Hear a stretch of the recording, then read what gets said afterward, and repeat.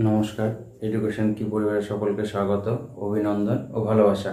আজকে আমরা রাশি বিজ্ঞান বা স্ট্যাটিস্টিক নিয়ে আলোচনা করব। তার মধ্যে একটি বিষয় আছে এখানে আমাদের, মধ্যম মান কীভাবে নির্ণয় করব বা মধ্যম মান কীভাবে বের করব। চলো, একটু সবাই দেখে আসা যাক বিষয়টি। বলেছে, কোনো বন্টনের গড় পঁচিশ, মোট পঁচিশ পয়েন্ট পাঁচ। ওই বন্টনের মধ্যম মান নির্ণয় করো। এখানে বাংলা, ইংলিশ বাংলা ব্যবহার করা হয়েছে। মি সমান সমান গড়, এর এক নাম। মিডের আর এক নাম মধ্যম মান মোডের আর এক নাম ভূইষ্ঠ। তাহলে এখানে মোডের জায়গায় আমাদের ইংলিশ লিখেছে, গড়ের জায়গায় এখানে মিন হতো এখানে মিন। এ মি, এ এন, মিন। মধ্যম মানে এখানে হচ্ছে মিডিয়ান। এবার আমরা বের করব। তাহলে মধ্যম মান বের করতে হবে। মিন মানে গড়, মধ্য, মিডিয়ান মানে মধ্যম মান, আর মোড মানে ভূইষ্ঠ। এখানে আমাদের মধ্যম মানটাকে বের করতে হবে। এই দুটার সংখ্যা দেওয়া আছে। গড়ের দেওয়া আছে হচ্ছে পঁচিশ, আর এটা দেওয়া আছে হচ্ছে চব্বিশ পয়েন্ট পাঁচ। তাহলে এইটা আমাদের বের করতে হবে। চলো, তাহলে দেখা যাক এই সূত্রটা লিখতে হবে। এই সূত্রটা মুখস্থ রাখতেই হবে। Three into three into median minus two into mean. এই সূত্রটাকে মনে রাখতে হবে। এই সূত্র অনুযায়ী তাহলে আমরা এবার সংখ্যাটা বসাতে থাকি।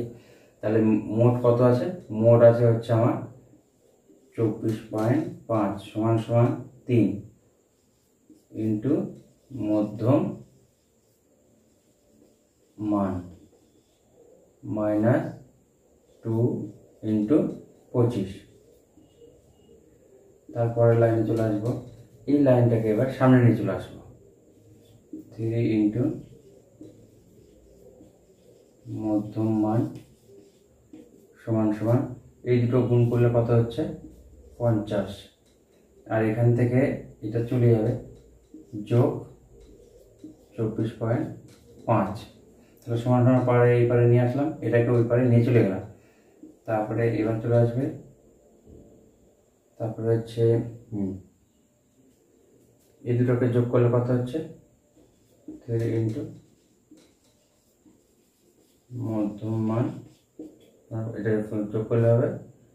পঞ্চাশ আর কুড়ি হচ্ছে চুয়াত্তর পয়েন্ট ফাইভ ঠিক আছে? এবার আমাকে বের করতে হবে মধ্যম মান মধ্যম মানটা বের করতে হবে। মধ্যম মান আমি লিখে নিলাম।